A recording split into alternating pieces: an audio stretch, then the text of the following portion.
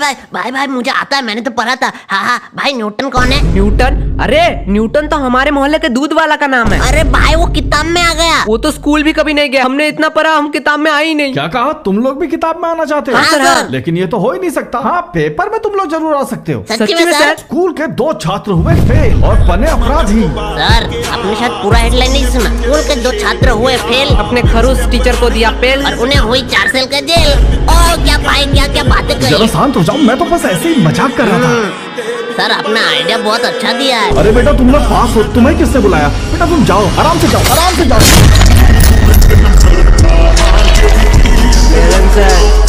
भाई पता है। तो पच्चीस मिला है। मुझे सारे पच्चीस।